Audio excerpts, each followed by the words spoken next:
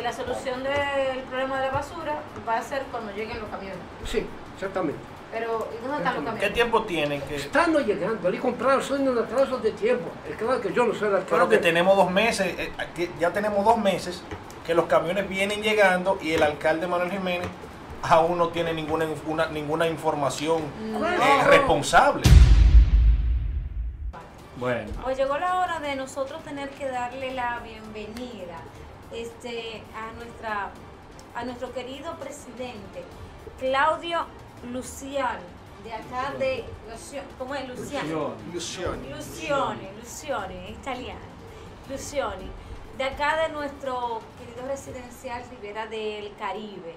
Está en el día de hoy con nosotros. Para nosotros es un placer darle la bienvenida y aquí vamos a estar dialogando con él de la problemática de esta comunidad y además también vamos a aprender de él de cómo deben ser las juntas de vecinos y cuáles son la problemática que no solamente tiene esta, sino las demás comunidades.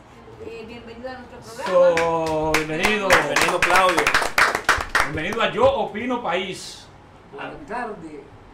Claudio Lucione, italiano naturalizzato dominicano, da 10 anni presidente della Giunta di Sino di Riviera del Caribe.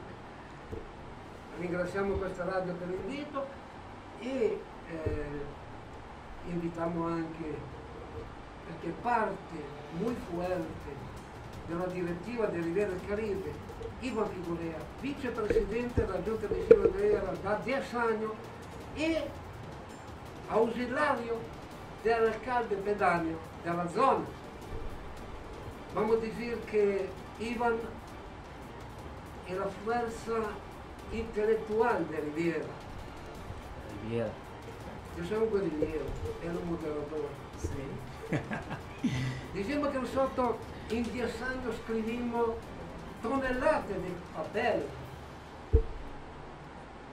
Y Riviera fue siempre abandonada. Vamos a hablar últimamente. El cañero hizo solo disastro. Y Riviera del Caribe non solo non mi aiutò, ma in un momento che io e Ivan ottenemmo dopo, dopo visite, dopo, dopo gare che hicimmo con opera pubblica, con l'aggiustamento del caniero e queste cose, mi inviò 122 camioni di asfalto. Signori, il levantamento 25 del 2016 mi autorizzava opera pubblica a integrarme 122 camioni di asfalto. O sea, eso, eso es cuando el cañero, Cañero, cañero Alfredo es Martínez. muy técnico, es un hombre muy técnico, Sí, es muy la técnico. Sí. Però, però, però Riviera lo abbandonò completamente. visto che entriamo in un argomento molto delicato su Manuel Jiménez.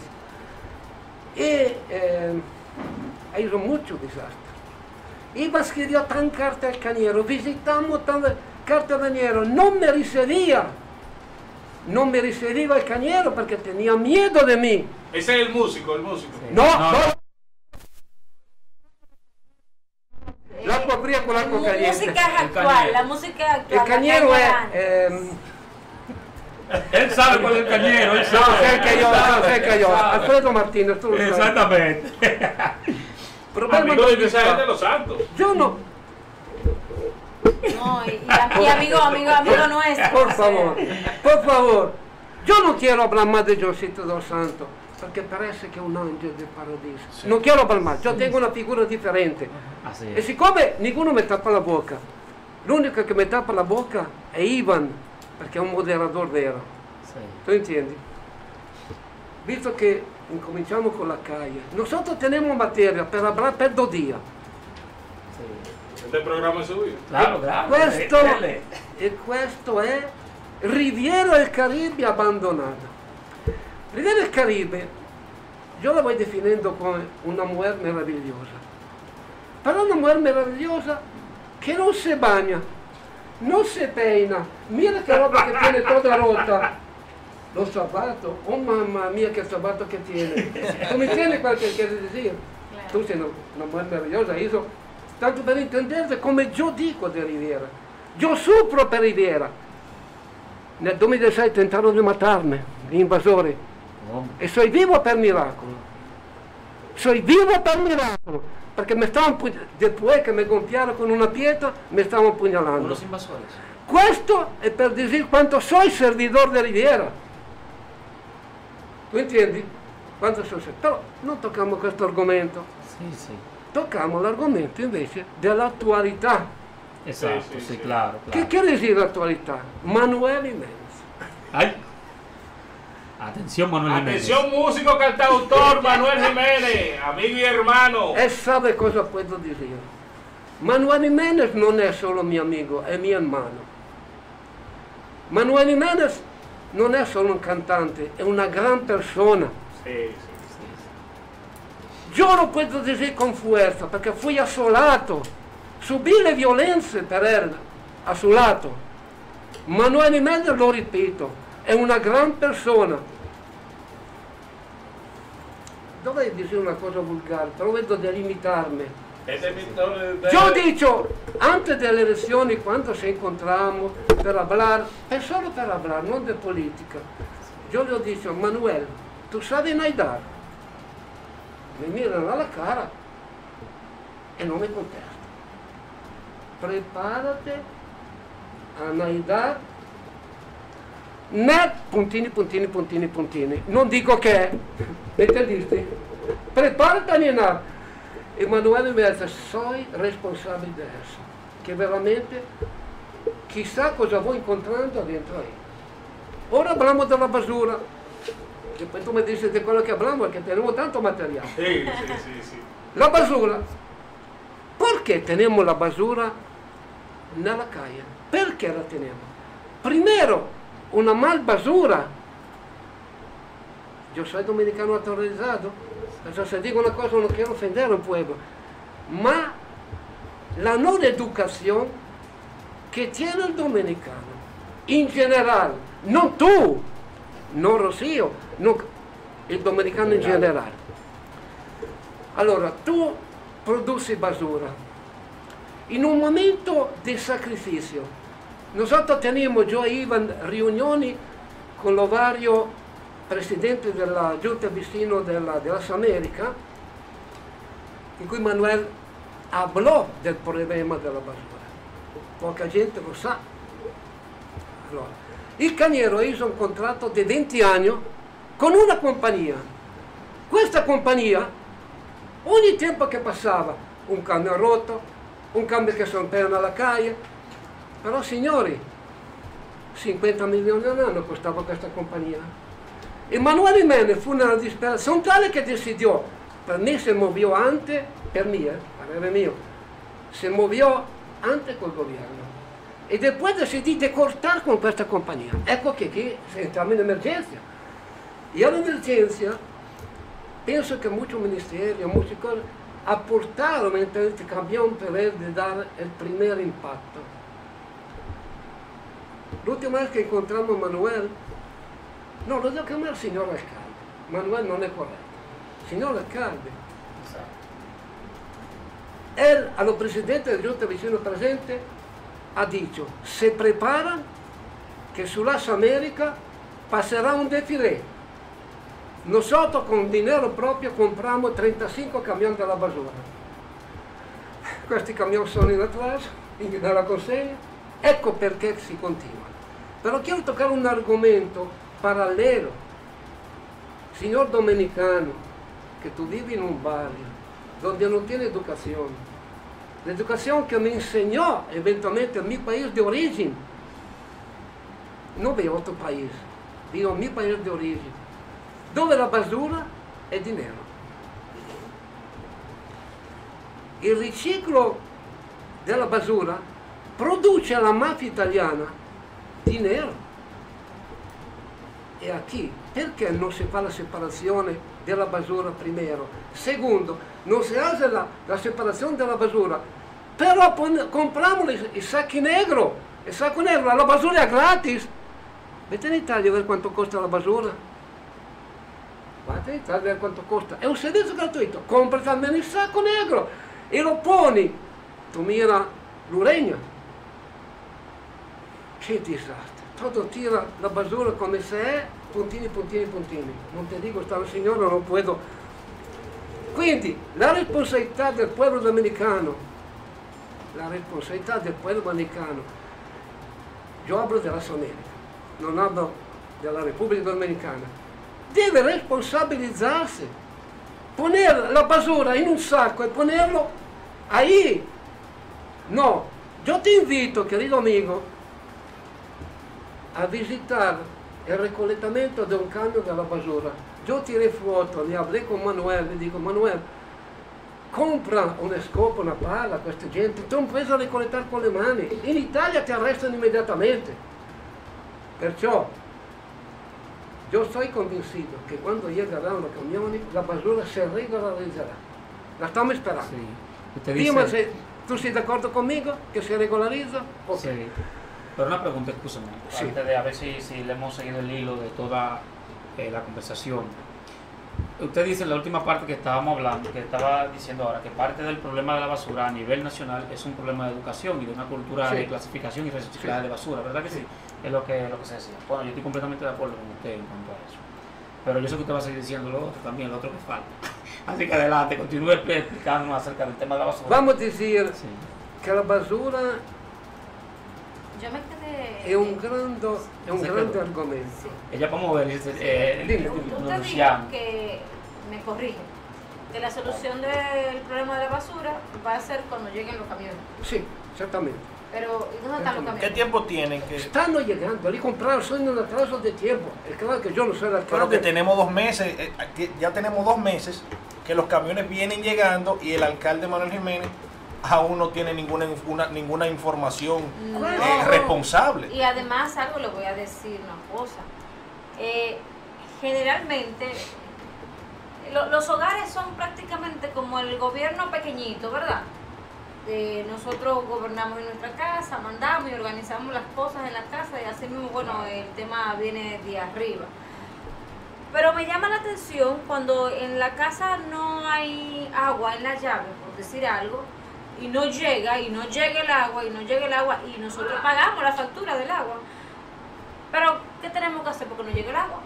Compramos un camión de agua, Claro, ¿cierto? claro. Entonces, entiendo que mientras llega la susodicha compra de los camiones, vamos a rentar. Hay que resolver el ¿Por problema. qué? Porque mientras, mientras esa solución, que según lo que entendí, pudiera ser definitiva, tenemos un problema, hay una población que tiene que estar navegando entre basura, contaminaciones, niños desarrollándose en ambientes como, como tales y sabemos que eso trae enfermedades, que trae mosquitos, mos- moscas y un sinnúmero de insectos que afectan a la salud. Así no es. sé si usted me corrige, que hacemos la propuesta, por si no ha habido ningún científico ni, ni una persona tan eh, preparada, de, exhortarle a nuestro alcalde eh, Manuel Jiménez, vamos a alquilar unos camioncitos, eh, alcalde, y vamos resolviendo. Que usted sabe que en, en los hogares, porque es que todo tenemos que verlo de una solución pequeña para luego hacerlo de manera macro. Sí. Entonces, mientras obtenemos esa solución, vamos a ir viendo, negociando dos pesos, tres pesos, Sí. o a cómo nos lo alquilan, pero vamos a ir resolviéndole ese problema a el- al municipio de Santo Domingo Este. Sí. Yo le tengo dos preguntas a, a don Claudio y es referente al mismo tema de la basura. Don Claudio, cuando normalmente recogían la basura, o no sé si las, si las están recogiendo normalmente, ¿cada qué tiempo la recogen y qué tiempo hace la última vez que se recogió la basura aquí en Riviera del Caribe? Ma, eh, Riviera del Caribe, Iván, que es promotor de todos los movimientos de llamada, eh, llama a Henry que recogiendo la basura, el camión viene. El camión viene, ok. El camión viene. La única cosa que tenemos aquí en Riviera es che al momento teniamo un personaggio, si chiama Guaio, che le permettiamo per ora di ricollettare quel centro di basura. E Guaio dove lo tira? nel monte. La tiran en el monte. Teniamo- allora, lo ricollettiamo da qui, lo poniamo da là, l'inquinamento sta sempre. Ivan chiamò in tempo passato l'aggiustamento perché mandava un camione alla palla a raccogliere la basura dove poneva guaio, poneva la basura. Quindi la ricollettiamo da qui, la spostiamo, giorno ricevo magari la brisa che mi lleva la continuazione per lo rossio, lo riceve. Cioè quel che dico è, nosotros stiamo permettendo guaio di ricollettare la basura e Ivan già organizzò un camion e una pala per ricollettare questa basura dove la tira il tipo. Quel che do- se deve intendere è, io ti invito a venire sulla Churchill a vedere la basura e ti invito a venire nella, di fronte all'Oregna a vedere com'è la basura. Ecco donde dico. Però io dico, Manuel Menes tiene dei problemi. Lo annuncia al suo presidente giunta vicino che deve comunicare con la gente, cosa che non hace nessuno. Quindi non si comunica. Dobbiamo pensare a ricollettare la basura, sì, però in fulde, donde tu va a vedere che, che astio che dà l'Uregna. Che qui? Per Manuele Venes? No. Ecco, allora, il primo passo, l'aiuto lo deve dare la comunità.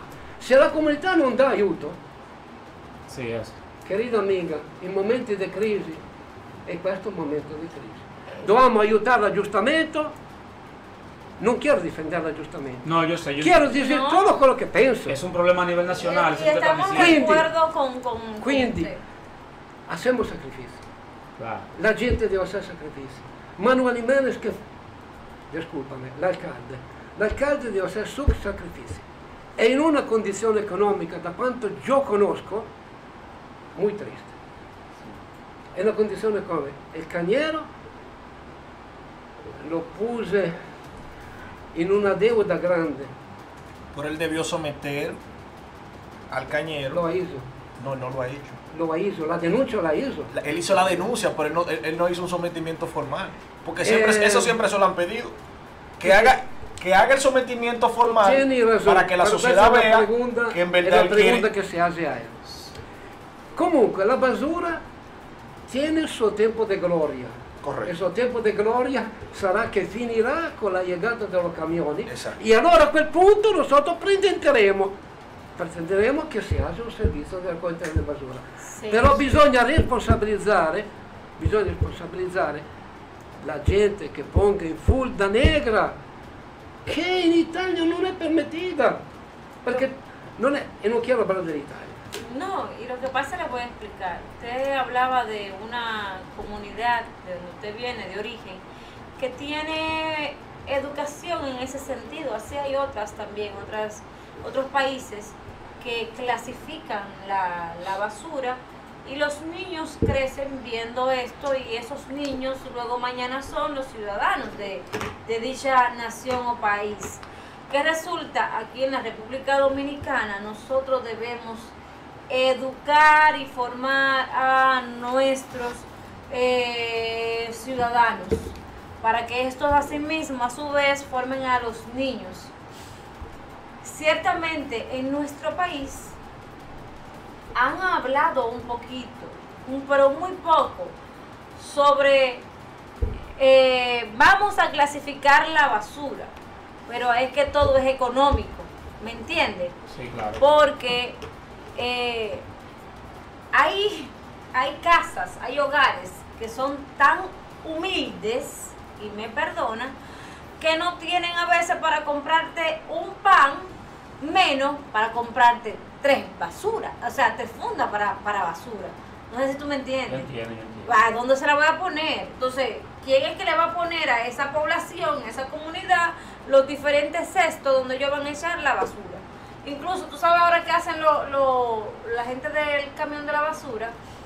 Si la basura no está en funda, ellos te la dejan ahí, pero no es que velan si está clasificada o no. O sea, deberíamos seguir con, con eso, pero mejorando. y tratar de buscar la manera de cómo eh, educar a la población, pero también a la población hay que ayudarla con los temas económicos, sí. porque es, créame que es difícil, Pero mire, O sea, licenciada, la- las fundas tienen su precio. Usted lo dice con mucho tecnicismo. Yo, yo le voy a decir la verdad. Yo a mí me gusta hablar las cosas en, en- eh, llano, que la gente entienda de una vez. Es verdad, yo estoy de acuerdo con lo que dice, con lo que dice don Claudio, que somos muy cochinos. Somos muy cochinos. ¿Cómo es posible? Todavía el camión pasa, tengo la funda y la tiro en el monte. Si hay un monte Sí. cerca de mi casa. No, y a veces después que pasa el camión. Y a veces eso es lo que pasa, entonces es como, es como que eso a veces algunas personas lo llevamos en la sangre, eso, es como que somos puercos, cochinos, hay que decirlo claro, así es que eso, así Antes- es, antes de punto. que, antes Pero de que ¿sabes Claudio algo? No, no digas que es que no hay multas.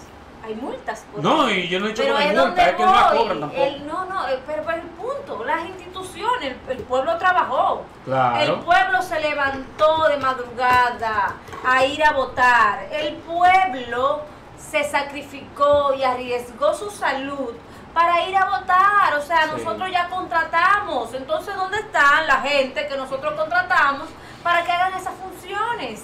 Mira, Claro. yo en verdad. Vamos a perseguir. Santo Domingo Este no es la excepción y aquí hay grandes males, no tanto en el tema de la basura, ¿me entiendes? Aquí eh, también, por, por ejemplo, aquí la parte del alumbrado la he visto nula eh, y quiero que usted también me hable del tema de también las calles, que eso es, eso es importante. ¿Qué usted ha hablado con su amigo Manuel Jiménez Non de quiero temas? hablar, non quiero hablar en este momento de tema que te puedo garantizar que la computadora de Ivan está llena de queste carte.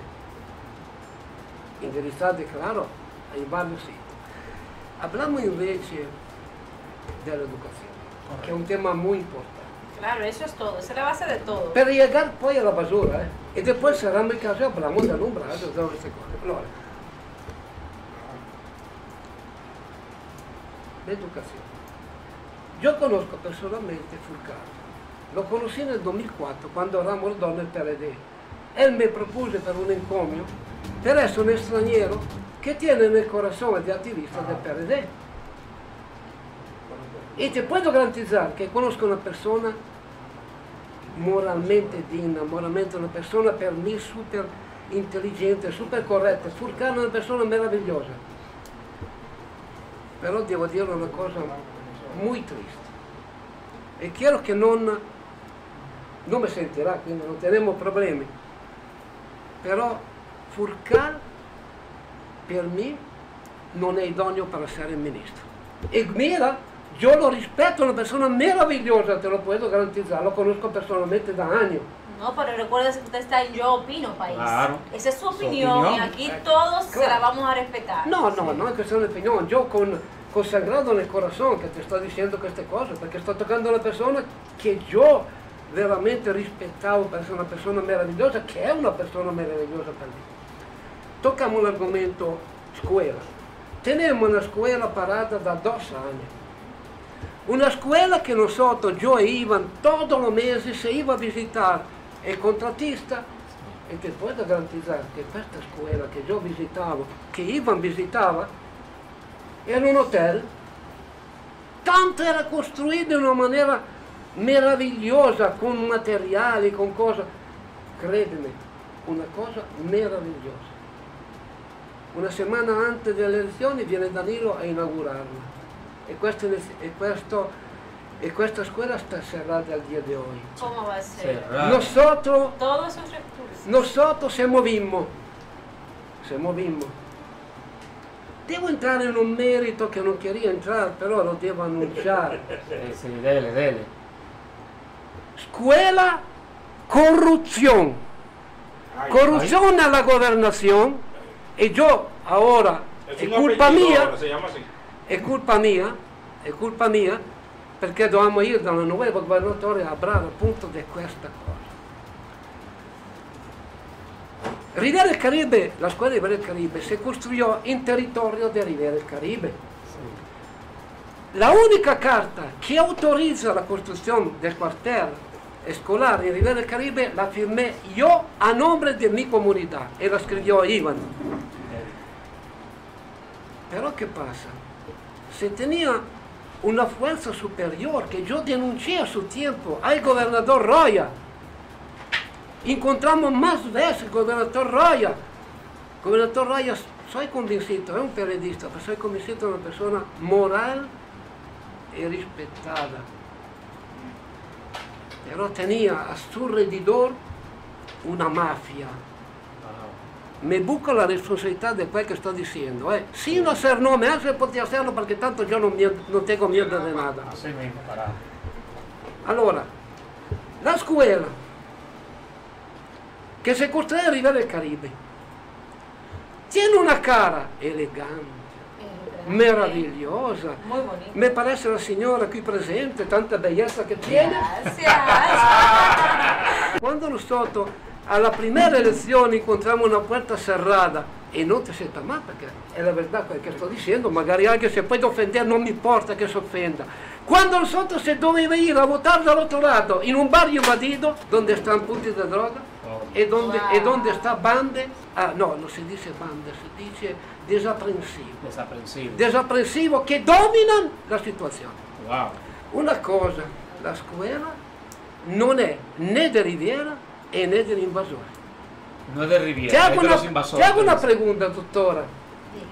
¿De quién es esta escuela?